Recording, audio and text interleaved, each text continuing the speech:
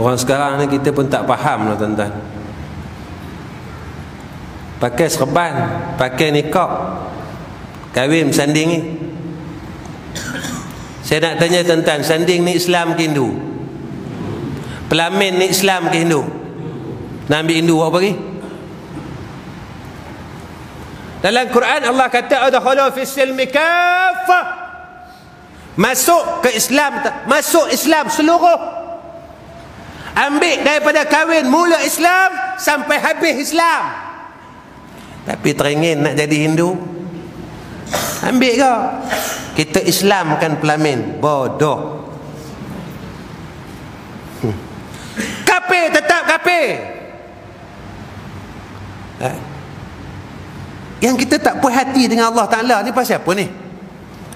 Yang nak sangat sanding ni pasal apa? Yang nak sangat pelamin ni pasal apa pula orang kata Tak apa sanding adik-beradik boleh ke kawal sanding adik-beradik? Boleh kawal ke tuan-tuan?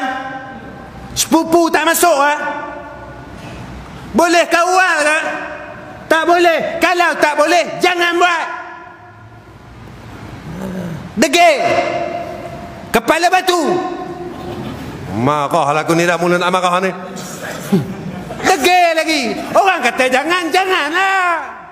Dulu tahun 80, tahun 90, semua orang stop sanding ni. Naik tahun 2000, orang start sanding balik.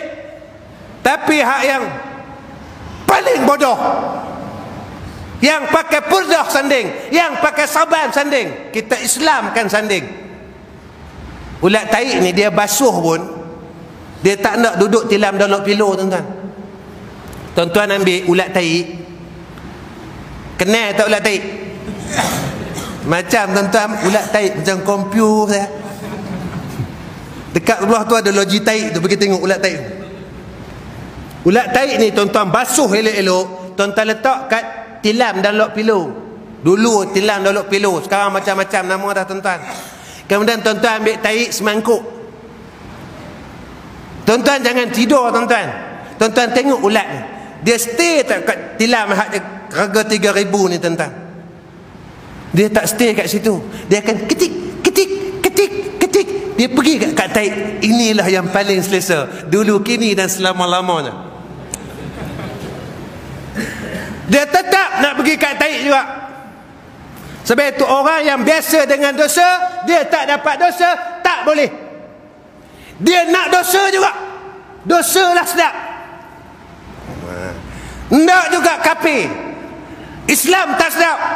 Ha. tak dapat kapit semua pun tak apa. Dapat sikit pun jadi. Macam ulat taik. Tak dapat satu loji taik satu mangkuk pun jadi dia kata. Dah tuan-tuan. Jangan ambil kapit dah. Tapi ndak kat kat kapit tu. Pelik. Tobat tuan-tuan Allah sebut dalam Quran inna Allah yuhibbu thawabin wa yuhibbul mutatahirin kenapa Allah suruh taubat? Sebab kesan daripada dosa itu yang pertama terhalang daripada mendapat ilmu. Bila kita ada dosa kita tak boleh dapat ilmu. Tak boleh dapat. Orang kata Alhamdulillah saya boleh dapat ilmu